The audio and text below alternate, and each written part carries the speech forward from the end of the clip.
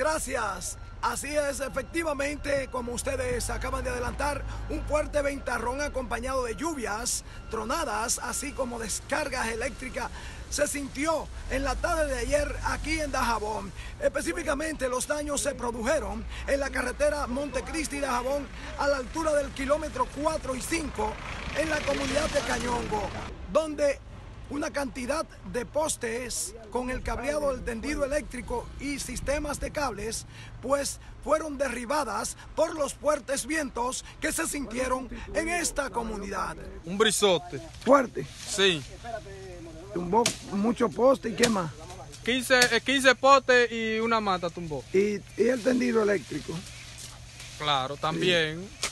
Interrumpió el tránsito por varias Sí, horas. sí.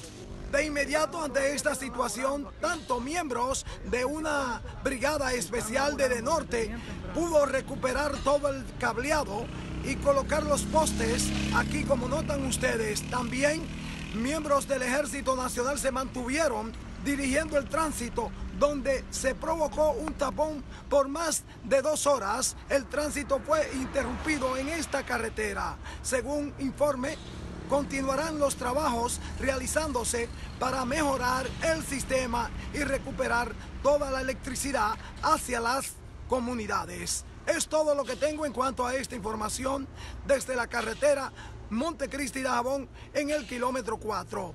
Ahora retorno a los estudios.